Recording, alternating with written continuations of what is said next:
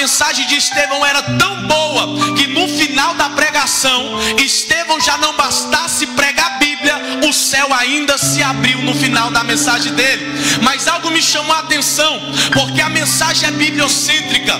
Estevão fala de Bíblia e o céu se abre. Só que quando Estevão diz: Eis que vejo os céus abertos, o mais engraçado do, do texto é que Estevão pregou para todo mundo ouvir, mas experiência com o céu aberto é Estevão. Ele está vendo sozinho, ninguém mais vê. Ele está recebendo sozinho, ninguém mais recebe. Sabe o que é que eu aprendo com Estevão? É que para o meu culto ser bom e ter céu aberto, eu não dependo de ninguém, só da minha entrega para com Deus. Porque se você sentar na sua cadeira e ficar esperando cantor favorito, pregador favorito, vai ter gente que está com o céu aberto desde vigília começou e vai continuar até ela terminar. Aí Estevão está pregando, e olha que pregação. Estevão disse: Eis que vejo os céus abertos e o Filho de Deus à direita de Deus Pai. Quando alguém ouviu isso, disseram: É blasfêmia. Leva ele para fora da cidade, apedreja ele e mata ele. Levaram Estevão para fora da cidade, apedrejaram Estevão no momento da pedrada. Estevão vai parar e vai dizer bem assim: Pai, recebe aí o meu espírito. E conclui dizendo: Pai, não lhe imputes esse pecado. Em outras traduções, Estevão está dizendo: Pai, perdoa eles porque eles não sabem o que fazem. Eu já costumei, já costumei ouvir muita gente pregar a respeito de Estevão. E eu ouvi muita gente dizer que enquanto Estevão era apedrejado, o céu se abria. Só que a Bíblia não diz que enquanto Estevão era apedrejado, o céu se abria.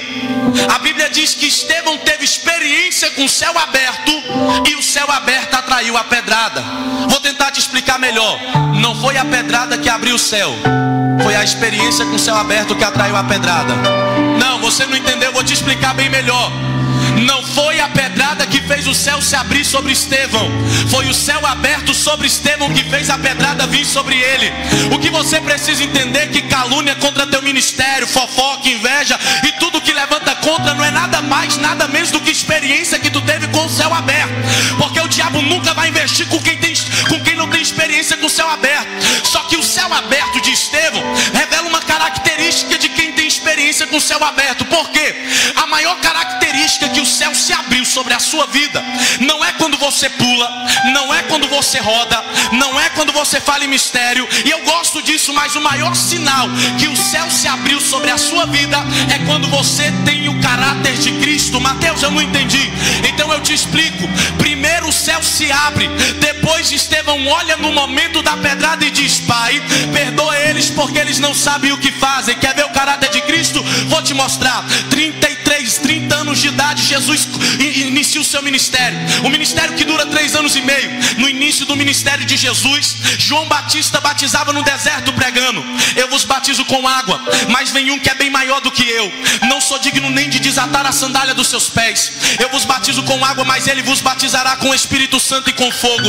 Quando João termina essa mensagem, Jesus aparece. João corre até Jesus e diz: Careço eu e a você, e vem tu a mim. Jesus olha e diz: Isso é para que se cumpra tudo o que foi profetizado pelos profetas. Aí o texto diz que Jesus vai descer as águas. E quando Jesus está descendo nas águas do céu, quando Jesus está descendo nas águas do céu, três anos e meio depois, Jesus foi traído e vendido por Judas, foi negado por Pedro, foi julgado por Anás e por Caifás, provou uma neutralidade de Pilatos, teve 468 cortes abertos no seu corpo, com chicote de 12 tiras de couro, com pedaços de ossos e dentes de carneiro e bolinha de chumbo na sua ponta, recebeu coroas de espinhos que mede cerca de 14 a 17 centímetros na cabeça, e lá na fortaleza de Antônia, quando Pilatos pergunta: Quem vocês querem que eu solte? Jesus ou Barrabás? A multidão grita: Solte Barrabás. Jesus levanta a cabeça.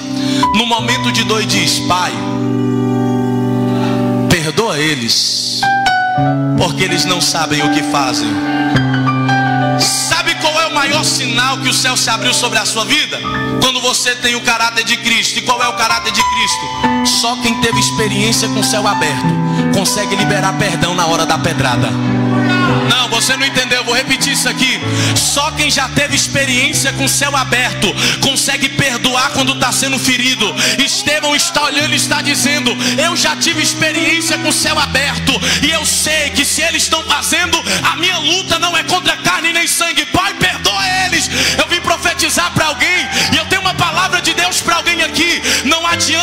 se abrir sobre você no culto e fechar sobre você na sua casa.